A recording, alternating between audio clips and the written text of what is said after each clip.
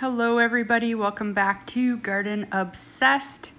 Today I'm going to get some more um, garlic into the ground. I planted probably two thirds of what I'm going to be planting on October 15th. I kind of shared what I had planted in the video I did how I'm planning my 2023 garden. Um, Today I'm planting some German white garlic. It's a porcelain type similar to the music garlic that I've already planted, but I found it has a little bit larger um, bulbs than the music. This entire bed will be planted eventually. I'm just gonna do half of it today. I'm just showing you what I'm using for fertilizer. It's an organic um, all-purpose 444 fertilizer but I can't get the other half planted until I harvest. There's some bok choy still growing. The green is starting to bolt. The red's still doing good. Um, so in the next week or so, I'll get all that harvested and get the rest of this garlic in. Um, today is actually Halloween. It's October 31st, and this is maybe a little later than I like to plant my garlic I have planted garlic all the way from the third or fourth week of September right through to the first week of December in the past. And I kind of like that mid October window best. Generally, that's the best time of year for me where I am to plant garlic. You want to figure that out for yourself. Um, it's usually around when you first start having, you know, some regular light frosts um, we, we've had kind of a warm fall, so this is by no means too late. And like I said, I could go right into December if I had to. It would cost me some bulb size in the spring though, but you know, some garlic is better than no garlic, right? So I added some of that all-purpose fertilizer and scratched it into the top inch or two of the soil. And now I am just kind of pre-poking my holes and I do this I'll push the garlic bulb down a little bit farther, but I like to do this just so I, you know, have my spacing right. Um, I'm putting these holes, this is a four by four bed and I've got eight holes along the length of it. So that gives me about five or six inch spacing. I found that's a good spacing for me. So I've got four rows here to do today. I'll squeeze in another four rows as soon as I get that bok choy um, harvested. Now, what I'm gonna do is, I think I had 80 some uh, cloves in this bag. So I'm gonna start just picking out some of the larger ones. If you start with a larger clove, you will get a larger bulb. So I wanna make sure I get the largest ones planted first. If anything comes up and I don't get the rest of the garden planted, I know that, you know, I'm gonna have my largest cloves planted. I'm just giving you a little look-see here. I'm actually cutting back on the number of um, garlic cloves that we plant this year. Um, I think, you know, 100 is far too few and we had over 200 this year and that is way too many. So I have about 100 of the music garlic planted. I'm planting 32 um, of the German white here today and we'll plan to plant another 32 and that will probably be it. So it'll give me, in total, I'll have a, between 160 and 175 um, bulbs come next year and I think that will serve our garlic needs. That will also allow me to have a few extras to share with family and friends and maybe do a few fun garlic projects that, you know, use a lot of garlic. So I think that will work out well. Garlic really is one of my absolutely favorite things to grow. It is one of the easiest things. It has almost no pest pressure, at least where I am in the world.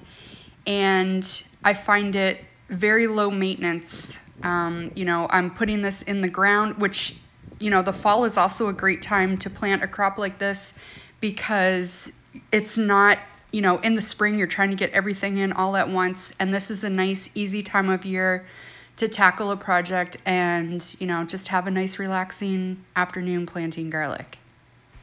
Other than this initial fertilization, I will probably hit it with, you know, a higher nitrogen fertilizer in the spring and keep it watered and that's pretty much it. Um, it's, it's one of the most maintenance-free crops that I grow. It's also extremely easy to propagate your own seed from year to year. I think five or six years ago, I bought, you know, one pound of music garlic from Vesey's and I've saved my own seed every year ever since. And the bulbs have only gotten better year to year as they've kind of acclimated to my garden and my conditions. Um, a couple years ago, I added a little bit of this German garlic. I had like one bulb.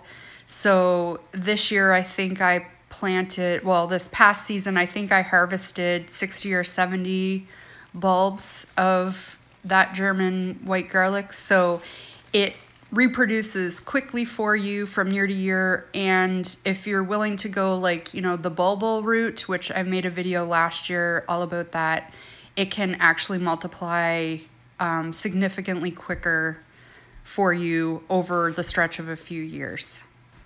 So it's low stress, um, low maintenance, and a very economical crop to grow. It's also extremely cold tolerant, so pretty much anywhere in the world can grow garlic. Um, there are a couple different types here in a more northern garden. We stick to, generally people stick to hardneck garlics, not that you can't grow softneck, but hardneck is kind of the go-to. And if you're in a more southern garden, softneck is gonna be the direction you will like to take. We're going to get into something else pretty exciting now. Um, I ended up purchasing some saffron crocus bulbs um, and we're gonna get those planted. I've never grown them and a local nursery was selling them. So this is what I bought. I bought two packs of five and I couldn't be more ecstatic to grow these. When you get your bulbs, you want to get them planted right away. You can see that mine are starting to sprout. They are actually a fall flowering crocus. So I think I might be a little too late. If I had gotten them a few weeks ago, there is a chance that they may have actually bloomed this fall, but I, I think I'll probably have to wait till next fall. So um, I'm planting them. I'm just kind of brushing some leaves away to show you that there's a plant already here. It's just an ornamental allium, but Beside it in this bed, I'm going to plant two rows of five. So I will have 10 crocuses total. Each flower will produce three stigmas, which are the female part of the flower, and that is what actually the saffron spice is. So I will have, hopefully next fall, 30, um, 30 fibers of saffron. So for some perspective, a typical dish uses between 10 and 20 fibers. So we'll be able to make, you know, one or two meals with that. But it takes about 150 flowers in order to produce one gram of saffron. That is the reason it is one of the most expensive spices in the world. So I'm doing the same thing I did for the garlic. I'm just kind of pre-making some holes. These can go a little closer. You want them about four inches deep and about four inches apart from one another. And these are actually going to produce fairly quickly. Every, every three to five years, you can divide them. And every year they should produce more and more flowers. So like I said before, I am in a Canadian Zone 5B-ish um, growing zone, which is similar to um, a USDA Zone 4B, and I'm kind of pushing the limits for um, overwintering these crocuses. I'm going to mulch them very well with some leaves and I think they will be fine, but they are generally, you know, if you're in a zone six or warmer, you're going to be fine. And if you're in a zone four or five, you're going to have to make sure that you mulch in order to overwinter. So um, next fall, I'll be sure to share how successful I was. These are going to pretty much go dormant until um, maybe August of next year. Uh, and I will make a note and make sure I mark them so that I don't forget I have them planted here.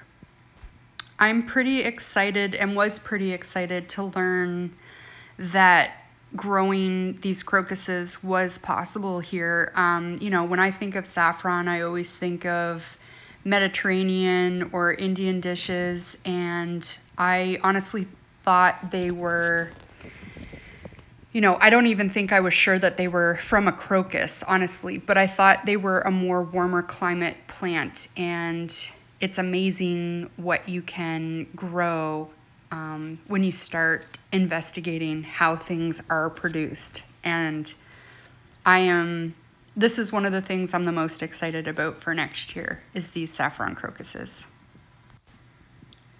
So I'm just getting the last few planted here and I'm pushing them in a little further. Like I said, they need to be a little deeper, four inches. I don't go down quite that deep with garlic and then I'm getting them all covered up and patting the soil down and hopefully they will be nice and cozy here for the winter. If you have experience growing um, the saffron crocus, I would love to hear about it. Like I said, I have no experience doing it. This is my very first time, but I'm very excited. And if you have any tips, I'm sure others would be just as interested to hear as I am. So thanks for stopping by and thanks for watching. Have a great day. See you next time.